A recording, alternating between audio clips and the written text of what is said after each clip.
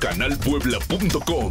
Estamos en el espacio de Claudia Contreras con horóscopos y venimos muy gitanescas, muy así, atrevidas y intrépidas. Y empezamos contigo, mi querido Aries.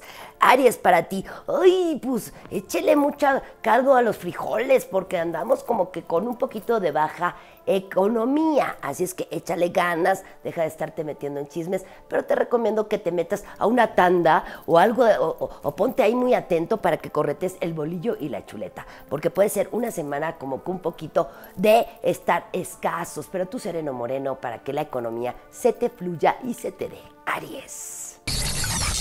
canalpuebla.com.